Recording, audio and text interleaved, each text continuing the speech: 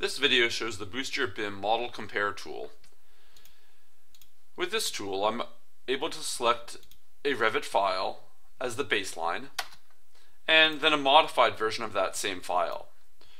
Revit compares the two files, looking for changes in the geometry of point-based and line-based elements,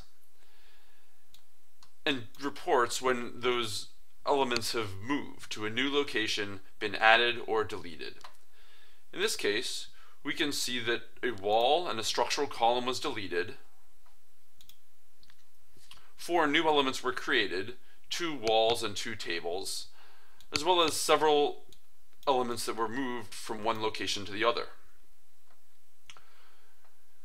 To see what was changed, we can select an item in the grid and then either zoom into the new or old location. Here, we can see the new location of the chair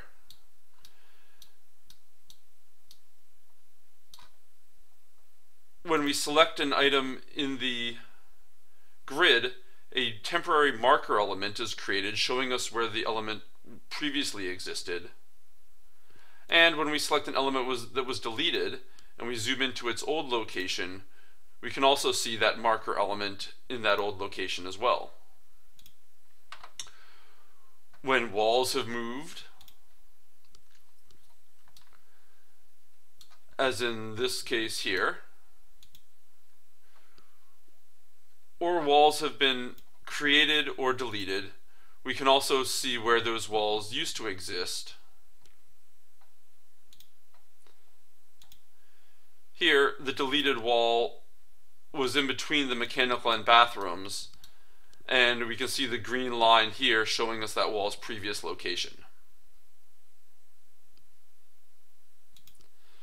For a new wall, we can also zoom in on that new location and see here that the wall highlighted in blue uh, selected in the Revit interface was a new wall that was created as was this other wall beneath it running horizontally. We can also set a parameter value for all new and modified elements still in the model.